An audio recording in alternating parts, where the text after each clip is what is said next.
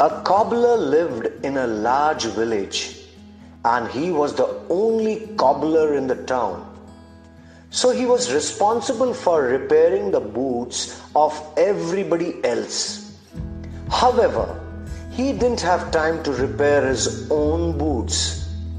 This wasn't a problem at first, but over time, his boots began to deteriorate and fall apart. While he worked feverishly on the boots of everyone else, his feet got blisters and he started to limp. His customers started to worry about him, but he reassured them that everything was okay. However, after a few years, the cobbler's feet were so injured that he could no longer work and no one's boots got repaired. As a consequence, soon the entire town started to limp in pain. All because the cobbler never took the time to repair his own boots. This simple principle is so often disregarded. If you don't look after yourself, after a while you will be no good to anyone else either.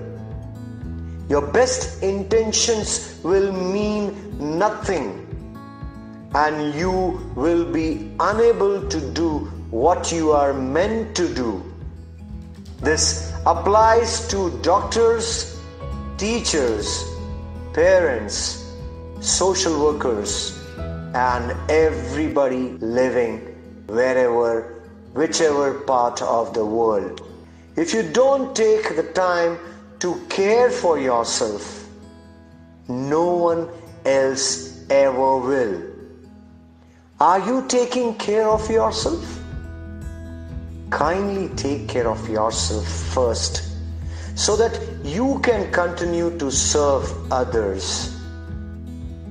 I hope, I expect rather, this strong message reaches you all in the best of the Spirit and we start serving humanity rather than going a selfish way and deteriorating and keep surprising our humankind.